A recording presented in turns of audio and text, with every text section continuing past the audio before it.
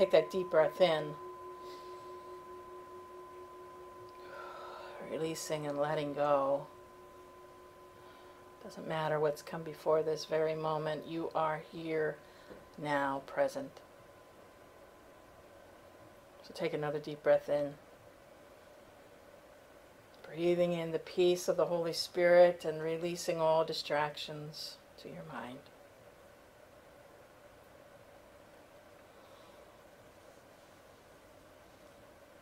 And take that third deep breath in. Wow, relaxing.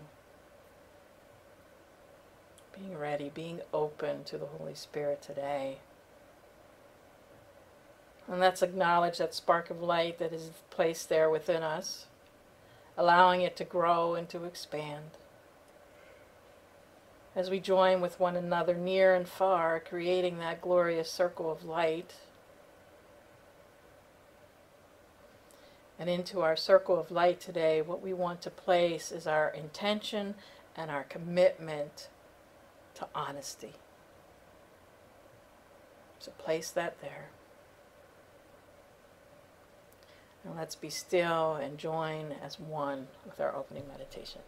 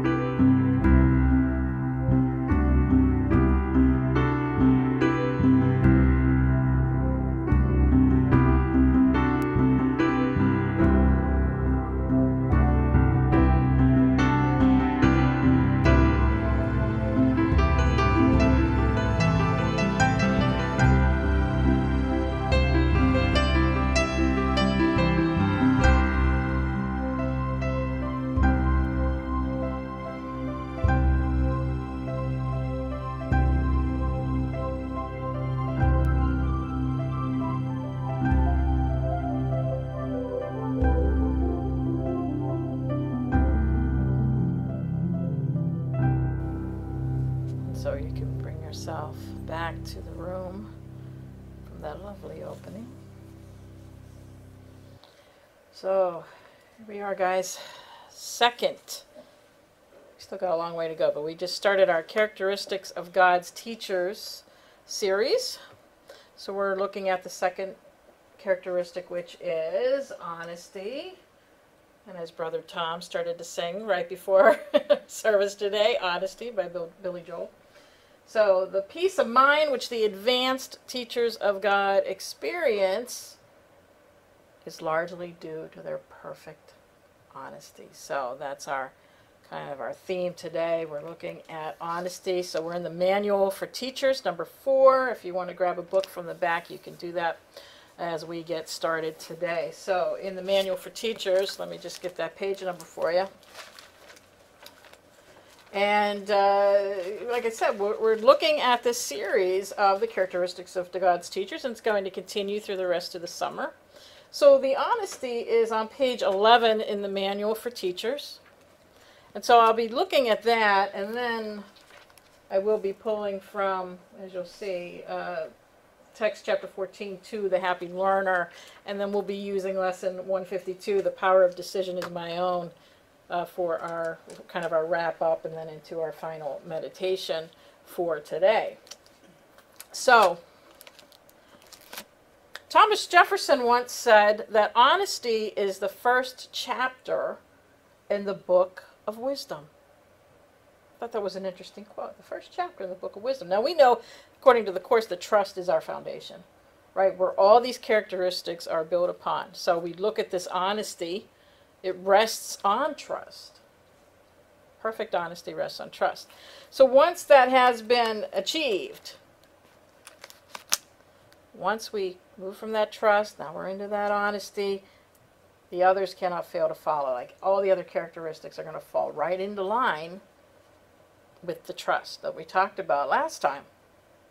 So only the trusting can afford honesty, for only they can see its value. So only the trusting can afford honesty. So we're in that place of trust when we can be honest with what's going on within our minds, right?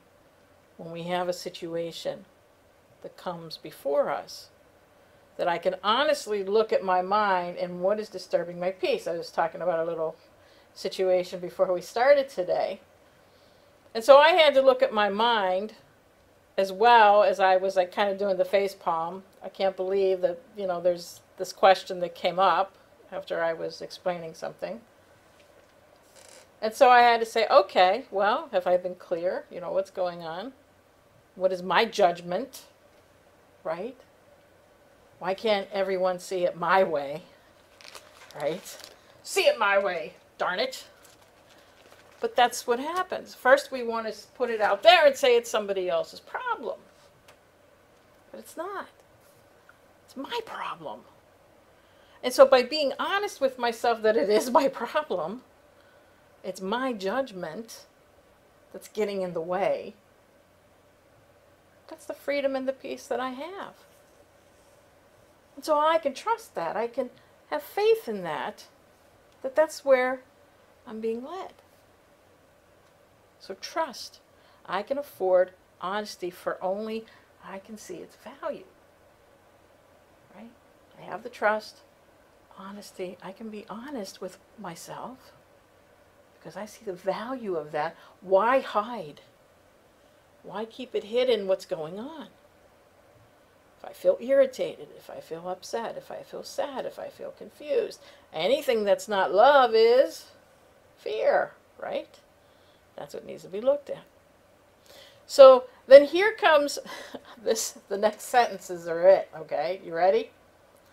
Honesty does not apply only to what you say. Now, why would he say that? It's not just with what you say. Because you can invite me and I say, oh, yeah, I'll go. Meanwhile, inside I may be going, I don't want to go to her house. Right? I don't want to go to your birthday party. It's not about what I say. what's behind it, right? The term actually means consistency. And that's how Jesus is using it here, right? Honesty is consistency. Well, what are some of the definitions of honesty before this point, right? I looked it up, of course. Maybe you know some. What else stands for honesty? Or Truth. honest? Truth. Just what do you know as, as just a human being in this world? Not necessarily what the Course says. Goodness. Goodness. Genuine. Would you say that? Real. How about integrity? Someone who has integrity. Honor. Straightforwardness. Humble. Plain. What's interesting, one of the synonyms was right mindedness, which I thought was interesting. Of course, we know right mindedness from the Course in a different veil, in a different vein, right? So, but he's saying here, he's using the term as consistency. I want to be consistent in my honesty, in my honesty with Holy Spirit. This is what's going on, Holy Spirit. I feel upset because of this question somebody asked me. Or they were saying what I wasn't really saying. They didn't understand me. So I want to place it on there and say, well, it's a problem. I mean, it is in one way, right? But if I'm not willing to be honest with myself and how I'm feeling about it, well, then that's a different story. Okay, so there's nothing you say that contradicts what you think or do. No thought opposes any other thought. No act belies your word, and no word lacks agreement with another. So, what does that mean? No, nothing you say that contradicts what you think or do. No thought opposes any other thought. No act belies your word. You better be honest within, right? Have you ever been with someone and you knew, you know, oh, yeah, I'm okay today? You knew they weren't, right? That happens. We've probably done it. I've done it. You know, have a good day. You don't really mean it. right? And that's real light stuff here, okay? This gets heavier. if you take it deeper, it's much heavier. Oh, yeah, I studied that course. Right? Are you willing to question every value you hold? Are you willing to be the happy learner? Are you willing to realize that you make the decisions all the time? I am not the victim, right, of the world I see. I'm not the victim. That's where the honest comes in. It's like, I have to be honest and true of what's going on. If I'm not at peace, I need to be honest with that. If I'm still stuck in the past, I need to be honest with myself on that. I can do it because I have trust in the Holy Spirit. So I'm having trouble with the honesty part. Well, then maybe I need to go back to the first characteristic and work on that trust. Right? Nothing you say contradicts what you think or do. Do as I say, don't do as I do. Right? Am I perfect in this? Nope. Absolutely not. Do I try? Yeah, I do. So forgive me when I'm not perfect. okay, so such are the truly honest. If we can be in total alignment within ourselves. At no level are they in conflict with themselves. Therefore, it is impossible for them to be in conflict with anyone or anything. Not in conflict. I know I have a friend who helps me when I feel conflicted. Not about what's out there, what's happening out there, what they said or did. It's not about that. It's about me. It's about my interpretations, my projections, my perceptions. When I can come into truth with that, wow, I'm peaceful, pretty peaceful. That's being the happy learner. So let's look at the second paragraph. Remember these, you know, the, the first characteristic, trust, had a lot of material to it. The ones after this don't have as many, so there's only two paragraphs about honesty. But they sure pack a wallop when you start thinking about it. Okay, paragraph two, he says, The peace of mind which the advanced teachers of God experience is largely due to their perfect honesty. If I want peace, I'm honest. It is only the wish to deceive that makes for war. No one at one with himself can even conceive a conflict. So it's being within, you know, letting go of that conflict with the Holy Spirit. You may be guided to say something to somebody or you may not. But it's being right within yourself. Being honest. Not deceptive. I never get angry. Bull crap. right? Yeah, I do. No one at one with himself can even conceive of conflict. I'm willing to look at it. Conflict is the inevitable result of self deception, and self deception is dishonesty.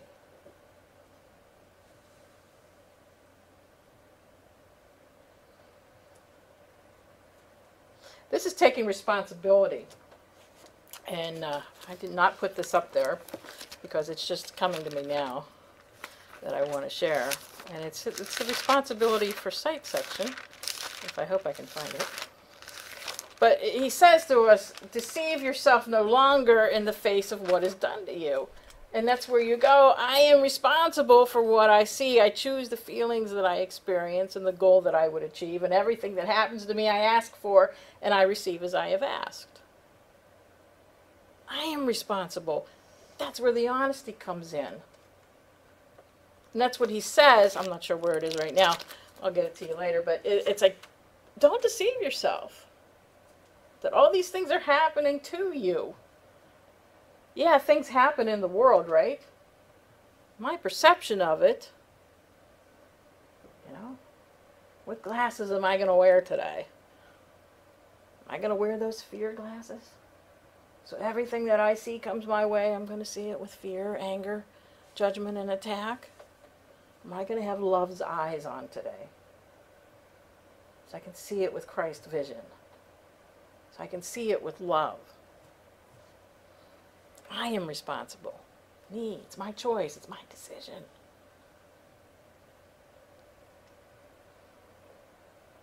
And then get this, sentence 5, he says, There is no challenge to a teacher of God. What? Who doesn't have challenges? Oh, what's he talking about? what do you mean there's no challenge? So why does he say that? He says challenge implies doubt. And the trust on which God's teachers rest secure makes doubt impossible. So when these things come along, it's not a challenge. It just is. Remember just the facts that I did like a year or two ago? That was in my book, Just the Facts. Can't be upset with a fact. You can't be upset with what's in front of you unless you have interpreted it. You've interpreted. I've interpreted as a challenge. Hmm. And what connotations have I put on the word challenge? But if I am rested in trust, honesty, then it won't be a challenge. It will just be. Right? I'll see it differently. So the trust on which God's teachers rest secure makes doubt impossible. Therefore, they can only succeed. We have certainty. We have absolute certainty of what the truth is. In this, as in all things, they are honest. They are consistent in their practice. They can only succeed because they never do their will alone. Who do you think they do it with? Holy Spirit. Holy Spirit. right? Holy Spirit. They never do their will alone, and that's how they succeed. Not alone. They choose for all mankind. Why? Because they know we are all one. Right?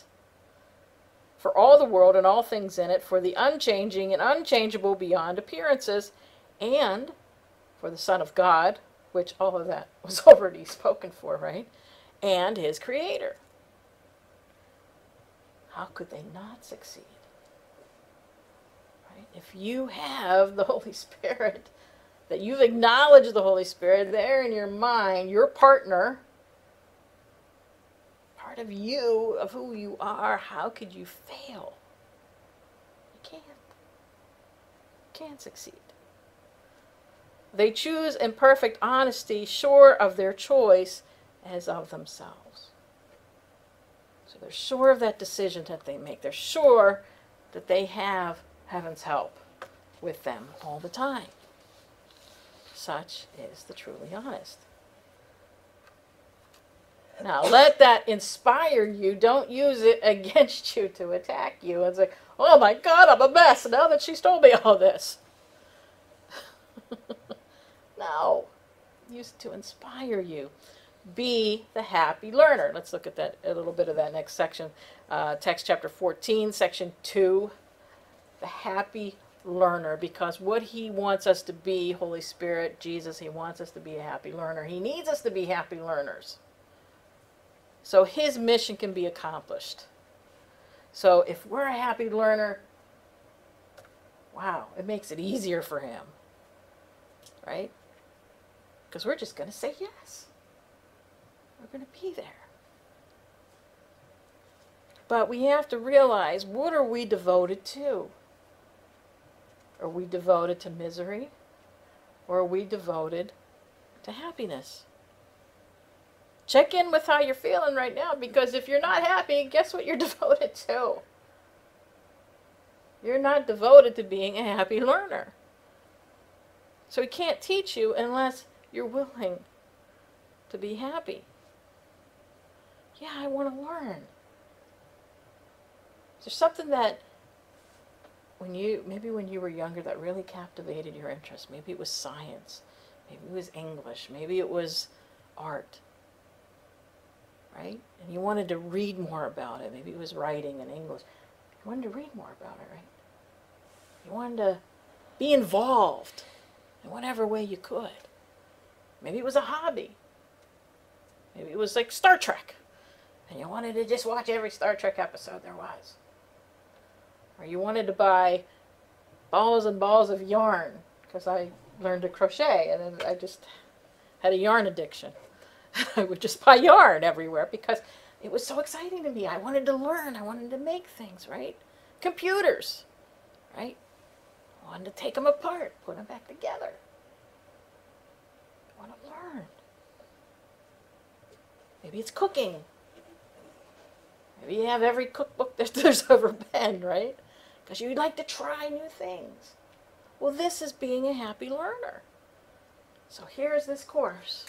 And he's asking you, be a happy learner. Not just read it.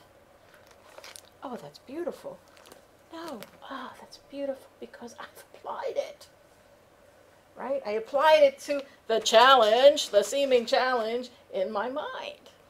Right? Be a happy learner. Now, the Holy Spirit sees you where you are. He knows where you are. But he knows you're somewhere else, truly. Where do you think that is? Heaven, I'm in heaven. Right? That's where we are. But he knows where we are now, where we think we are, right? That we're here. So he says, Thus begins his lesson in simplicity with the fundamental teaching that truth is true. Paragraph 2. Truth is true. He says, This is the hardest lesson you're ever going to learn. And in end, the only one. You know why? Because simplicity is difficult. Oh, not, not just difficult, it's very difficult for twisted minds. That's you. You've got a twisted mind. We don't see the simple. Why does it have to be so hard? It's not. We make it that way. We perceive it that way, right? Riding a bike. Oh, it's so hard to get those feet going in the right way and the balance and the whole bit. But once you do it, you just take off, right? Learning to drive a car, learning to type. Unless some of you are still going like this. right? But you get pretty good at this. I've known people who can do pretty good at two fingers. Right? Okay. So he says, Consider all the distortions you have made of nothing, all the strange forms and feelings and actions and reactions that you have woven out of it. Nothing is so alien to you as the simple truth. Nothing are you less inclined to listen to. We don't want to hear it. La la la la la la la. I don't want to hear the truth. The truth, though, sets us free, right? We don't want to hear it. So we need to come back to okay, today in the circle we threw in right our honesty right we want that intention of honesty so we want to look honestly at ourselves we want to look at the fact that we don't think it's simple we think it's hard we don't think the truth is true. We may say, yeah, well, it says this, it says it right here in front of me, the truth is true. There's a part of me that still doesn't believe that. I want to believe that the truth is true. It's my decision.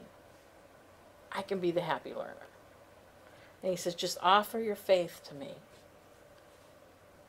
And I will place it gently in the holy place where it belongs. That's all we have to do. It's simple. Right? no? She's shaking her head. No, it's not simple. it is simple. Can you say that over time it's getting easier? Okay, there you go. See, that's because it's simple. it's we, we stand in the way of it and say, no, it's not that simple. It is simple. And we see as we go along, as, as we practice, right, that it does get simpler and simpler, just like cooking. Just like riding a bike, doing computers, whatever it is that you do, that you like to do. You know, at first I was doing crocheting, I had the yarn everywhere, I had a big knot. But once I learned how to do it, right, I could just keep doing it and make beautiful things. So he wants you to have a beautiful existence, a happy existence. That's why. Be happy learners. Learn that the truth is true. When you teach anyone the truth is true, you learn it with him. So you want to extend that, right? We teach what we want to learn. I'm teaching it right now, so I learn it. And you learn that what seemed hardest was actually the easiest. Learn to be a happy learner. So, how do we become a happy learner? We learn that we have to give everything that we've learned already, right? And what is that? What have we learned already? We've learned to judge ourselves. We've learned that we're unworthy. We've learned that we're unlovable. We've learned that we can't have it all. Right? That's what we've learned from the ego. If we want to be a happy learner, we have to give everything. We've learned the Holy Spirit to be unlearned and then begin to learn those joyous lessons that only He can teach. He will teach us the joy which comes on that foundation that truth is true and we can trust in that. Truth is true. Okay, so let's look at our uh, our lesson that we're going to be using for the meditation, lesson 152. The power of decision is my own. Are you getting this now? Are you with me? It's your decision. Your decision to choose honesty, your decision to be a happy learner. You've got the power. I've got the power. You've got it. You've got that M on your chest, the miracle worker. That's you. You can do it. So he tells us at the beginning, so it's lesson 152. No one can suffer unless it's on his, his so it's his own decision. No one can trip over their tongue unless it's their own decision. No one can feel pain unless it's their decision. No one can die unless it's their decision. Everything is our decision. Whatever it is that you're feeling, it's your decision. Guilty, arrogant, all of that, that's your decision. So we come to this place where we realize I have the power. I can make up my mind. I can change my thoughts. I don't have to go with the stinking thinking. You know, something happens, and right away it's like, oh my God. Can't believe this. That's how I felt with what I was sharing with the group beforehand. It's like, I just suggest one suggestion and it gets out of proportion. It's my decision on how I interpret it. It's my decision. So, paragraph 8, he says, Decide but to accept your rightful place as co creator of the universe, and all you think you made will disappear. I am co creator. Why should I think that I'm not? That's being arrogant. True honesty is I am. I have that power within me. And so today we practice in our meditation, he says, with true humility.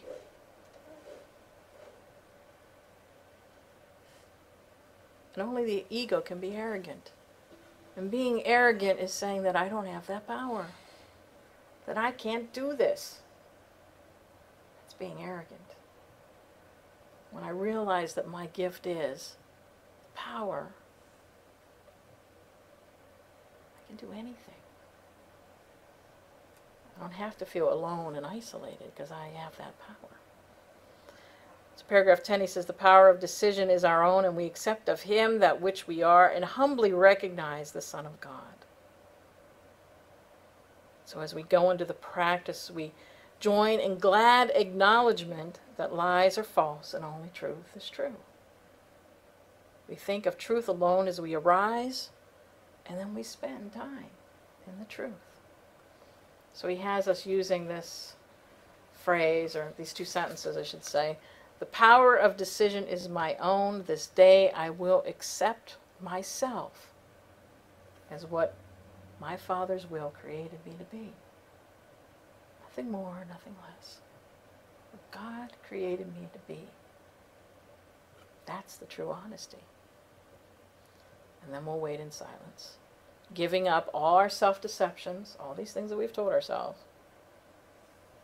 And then we just ask our true self to be revealed to us. That's the setup for the practice of this lesson, which we're using as a meditation today. That's it. So let's do that. Let's do that now. Let's get into this meditation. I'll just kind of lead you through and remind you what those two sentences are.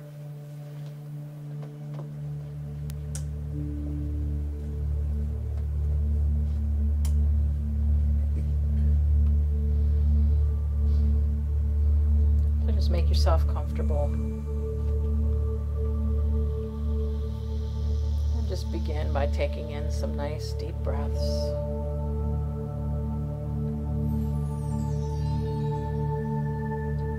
Ground yourself and open yourself up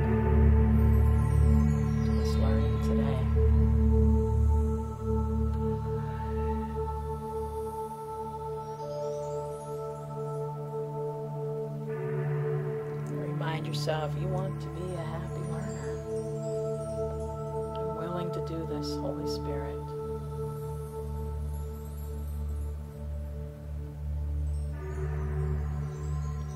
Just continue to focus on your breath for a few more moments.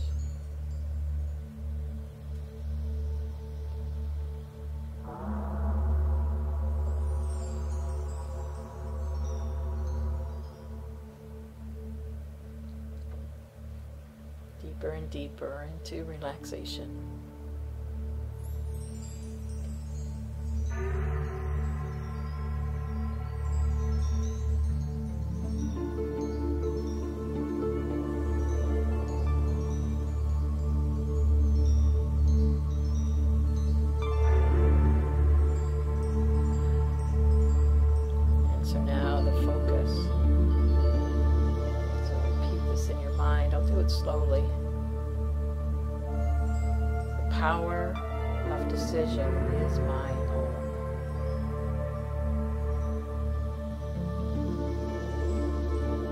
This day I will accept myself as what my Father's will created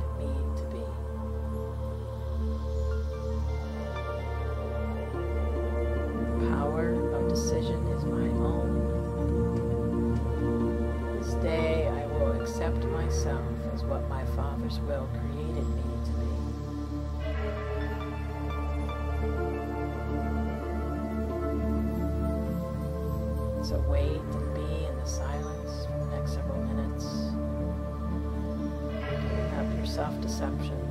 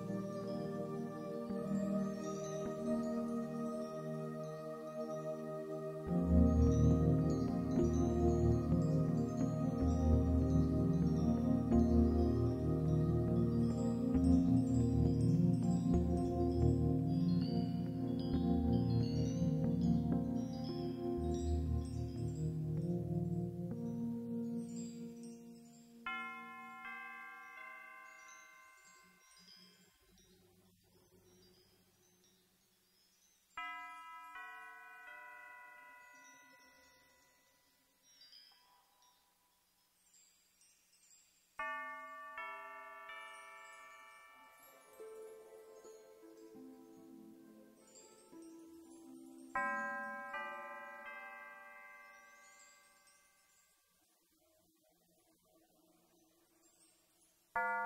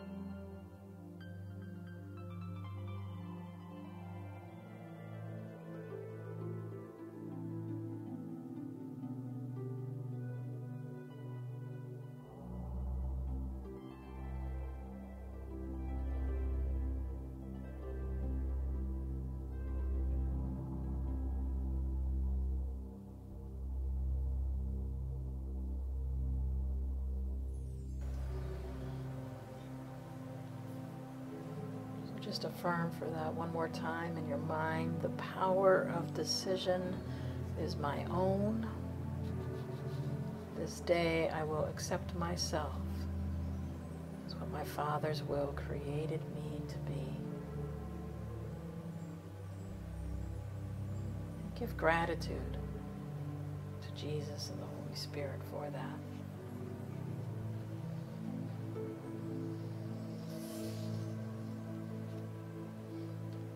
As you're ready, start to become aware of your surroundings. Coming back to the room, opening your eyes.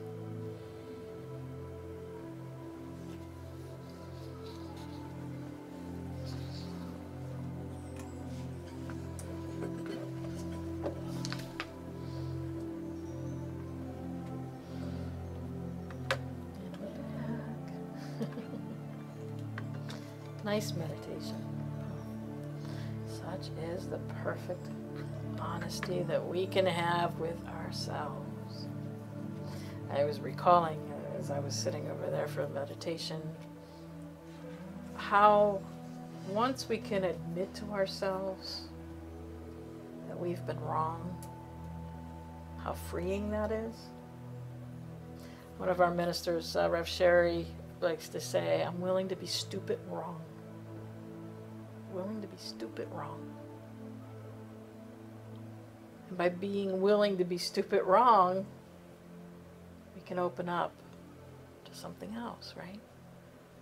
Because when we're holding on to that belief or that judgment, we're not being honest with ourselves, right? It's important to own it. I know I had a, uh, situation with someone not too long ago, and I was willing to admit that I made mistakes, that I was wrong. And it's okay to admit that, admit that to yourself. I was wrong about myself, period. Right? I thought I was something other than love. I Thought I was something else. And you know what? You all are something else. You are love. So, next week we're going to continue our highway to heaven. right, uh, with our characteristics, we've gone off on the exit of trust, our summer road trip, right? We've gone off on trust. We've done honesty. Next week is tolerance. That's our next exit on our road trip for the summer. So this week, what do we have going on? We have an open session tomorrow night. Uh, we start the summer study on Monday nights. And uh, in another week or two on Thursdays, we'll be doing the same thing, available via video conferencing and here at the center. Uh, we have our Wednesday group as well, our Tuesday night phone group with Brother Tom. And uh, lots of stuff coming up. We have a retreat coming up. Jon Mundy's coming here to the center. So much to look forward to in joining together and being together as one. So, of course, if you've benefited in any way from today's message, then I ask you to join with the Holy Spirit in your mind as to what your love offering will be today to help support our ministry and all that we do to support you as a course student. So, with that, let's say our closing prayer. The thought of God protects you, cares for you, makes soft your resting place, and smooth your way, lighting your mind with happiness and love and honesty, right? There we go. And namaste as we close today. Thank you. Make your donation today by going to donate.miraclesone.org.